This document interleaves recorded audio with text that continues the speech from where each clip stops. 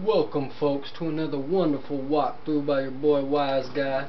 What I have for you today is another tutorial on another invincibility glitch. What you want to do for this particular one is come crouch down on these stairs and come right up the center. You gotta be squared off dead center.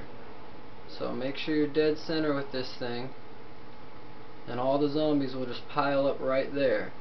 Every now and then one out of a hundred or something from down here will come up and attack you so you do kind of want to keep your eye out that direction but other than that everything that spawns will run right past you.